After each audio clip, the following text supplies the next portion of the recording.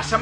Yo soy el 23 bienvenidos una semana más a la Liga Smart Bank Review, la serie semanal donde analizamos todo lo que sucede en la segunda división española, resultados del fin de pasado, clasificación y nos la jugamos con los pronósticos del próximo fin de semana. Antes de nada, ya sabéis que me encantaría que si no os es demasiado molesto, si no os resulta muy difícil, dejéis un like y os suscribáis, sobre todo activando la campanita, ¿vale? Porque es que si no, YouTube no te va a avisar. También recordaros mis redes sociales abajo en la descripción. Se está cociendo un sorteo en Instagram, no quiero decir nada, os lo digo todo y no olvidéis que los directos en Twitch, todo abajo en la caja de la descripción. Vamos a empezar porque el fin de semana pasado nos ha dejado resultados muy interesantes, muy pocos equipos consiguieron vencer en casa, hubo muchas victorias de equipos fuera, incluyendo el Sporting, lo cual es un auténtico bombazo, ya sabéis que estuve en Elche, tenéis el blog, tenéis el vídeo, podéis ir a ver cómo fue toda la movida. La clasificación ha pegado, bueno, algunos cambios dulces. Vamos a empezar por los resultados, revisando muy rápidamente los marcadores. Arrancamos con el Cádiz 2, Las Palmas 0, bueno, Cádiz paran de ganar, no paran de sumar, 11 al segundo, de locos. Ferradina 1, Numancia 1, buen empate. Luego tenemos un Alcor con 2, Almería 2, que además hubo expulsados en ambos equipos. Luego 3, Huesca 2, sorpresón, ¿vale? Además marcó un golazo Monami Burns, tremendo mirlo de cabeza, espectacular. Y también deciros que, bueno, pues ya hablé con él.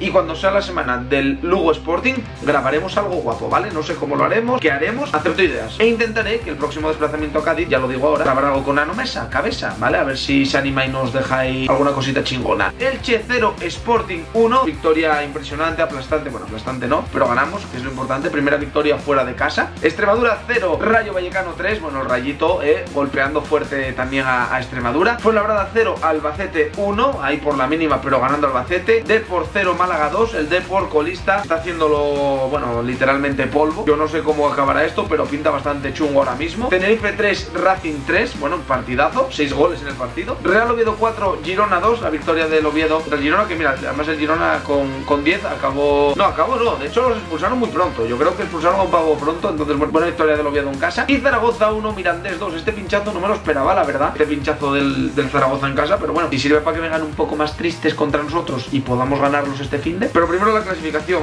revisamos. Último con 8 puntos, Deportivo de La Coruña, le sigue Racing con 10, Málaga con 11 y Tenerife con 12. Ahora mismo serían los cuatro equipos que irían a segunda vez. Poca broma, ¿vale? O sea, yo veo abajo Tenerife, Málaga, Racing y Deportivo y hago así una vuelta a la cabeza que tampoco hace muchos años los teníamos en primera, ¿vale? Luego 13, Extremadura 13 y Oviedo 13, ahí hay varios equipos con 13 puntos. Luego con 14 Mirandés y Sporting, ¿vale? Ahí un poquitín por encima. Que ojito que si te da un poco la vuelta a la cosa, te metes en descenso. No nos vamos a confiar en absolutamente nada. Numancia 15 y Ponferradina 15. Con 16 Girona, Elche y Alcorcón. Con 18 tenemos a Las Palmas, que llevaba una racha brutal. Luego un pinchacín esta semana contra Cádiz, que tampoco es una cosa que digamos una sorpresa, porque es que Cádiz van como bombas. Albacete 19 y Huesca 19 junto con el Zaragoza. Están los tres ahí con 19, pero los dos que están en playoff es Zaragoza y Huesca. Luego tenemos al Rayo, eh, bueno, y al Rayo también con 19, perdón. Fuenlabrada con 20, sorpresón de la hostia tener ahí arriba a Fuenlabrada. Almería con 20, que estaría en ascenso directo. Y líder absoluto Cádiz 31 puntos, 11 por encima de Almería, loco. 11 por encima de Almería, 12 por encima de playoff. Es la hostia. Lo del Cádiz es la hostia. 10 victorias, un empate y una derrota. Y ahora es ese momento tan dulce en el cual Toti Elopi saca sus conocimientos más profundos para predecir los resultados de los partidos que se jugarán este próximo fin de semana. Tengo un ratio de acierto del 0,7%, lo cual hace que puedas confiar en mí ciegamente o no. Pero bueno, en cualquier caso, empezamos. Albacete contra Cádiz. Cádiz, ya sabemos todos que va a fuego. Pero Albacete está ahí, cerca del playoff, ahí, eh, merodeando, dulce, dando chingada ahí fuerte. Confío en Cádiz, sinceramente, que veo al Cádiz ahora mismo imparable. Rayo Vallecano Ponferradina. El Rayo, que también va muy bien, de hecho solo perdieron un partido, pese a que tengan 19 puntos, tienen 7 empates, ¿vale? Y 4 victorias, una sola derrota, juegan en casa. Ponferradina no llega nada mal, Ponferradina, que decirte, está en mitad de tabla, 15 puntos, está incluso por encima del Sporting, pero bueno, creo que Rayo Vallecano al jugar en casa lo tiene un poquitín mejor. Mirandés Tenerife. Bueno, aquí está la zona baja, ¿vale? Tenerife si gana, incluso adelantaría a Mirandés, ¿vale? Se pondría con 15, Mirandés con 14. Eh, bueno, Mirandés empató a puntos con el Sporting. A ver, yo aquí me la voy a jugar un poco y voy a decir un empate. Quiero decirte, están ahí muy parejos y creo que tendrán los dos bastante respeto en cuanto a... Coño, Mirandés sí, si gano me pongo con 17, alejo brutal. Pierdo y me gana Tenerife, me adelante y me meto abajo. No sé, creo que habrá un choque ahí un poquitín igualado, así que vamos a tirar ahí una X. Si hablamos de choques igualados, Racing de Santander, Deportivo de La Coruña. Tenemos a un Corzo Corzo salvaje que va a ir hasta Santander. La paciencia, las ganas que tiene Corzo con el Depor, yo de verdad que son algo que hay que aplaudir porque, coño, van a ir desde Coruña hasta Santander. Tampoco es que jueguen especialmente bien. A ver, aquí es lo mismo, están los dos muy jodidos, pero bueno, que puede ser cualquier cosa. Aquí no sé qué decir. Un empate, no te sé qué decir, es que están los dos muy jodidos, tío. Málaga, Real Oviedo. Tenemos al Málaga que está en descenso. Un Oviedo que de los últimos cinco no perdió ninguno, de hecho ganó tres y empató dos. Bueno, a ver, la lógica me dice que el Oviedo es favorito, pero evidentemente yo deseo que gane Málaga. Tú también, sí, tú también deseas que gane Málaga. Aunque no lo sepas, aunque no sientas nada, aunque te la pele, sí, quieres que gane Málaga. Y yo también, así que bueno, pues que gane Málaga. Numancia Lugo. Tenemos al Numancia, pues básicamente en mitad de tabla con 13 puntos y al Lugo ahí, bueno, al pixel del descenso. Voy a jugar otro empate aquí, ¿vale? Voy a jugar otro empate aquí. Girona Alcorcón. Bueno, Girona. Lo tenemos ahora mismo con 16 puntos. Está pegando una pequeña bajada, una pequeña caída, un pequeño pinchazo. Y encontramos al Alcorcón, pues con 16 puntos también.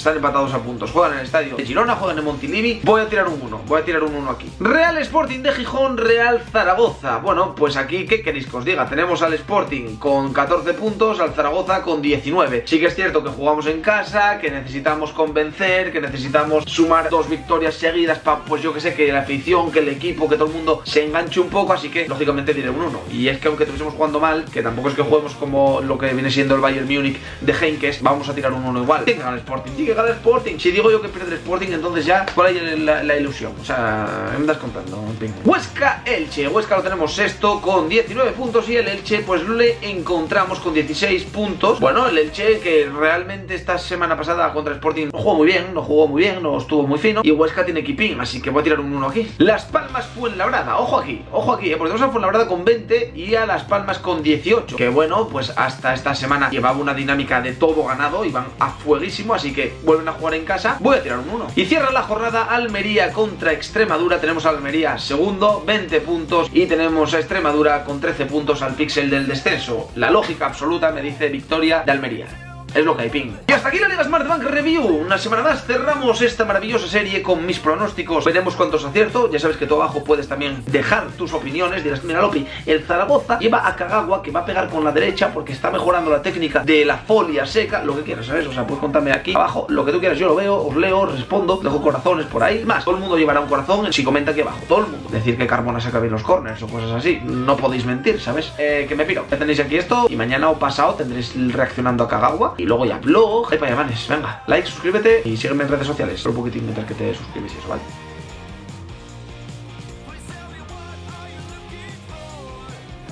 ¿Ya lo hiciste todo? ¿Ya me seguiste en todas las redes sociales y tal? Confío en ti, ¿eh? Nos vemos. Chao.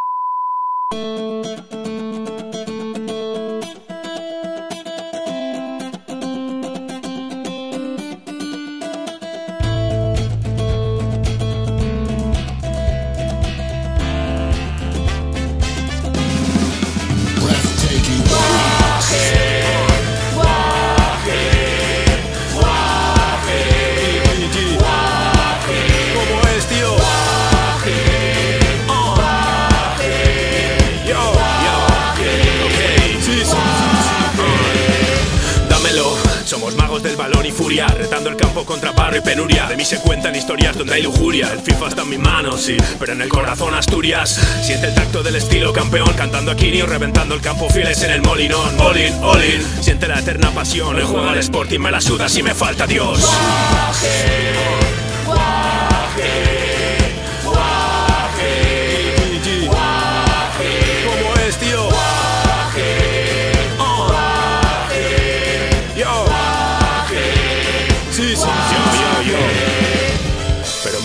tú.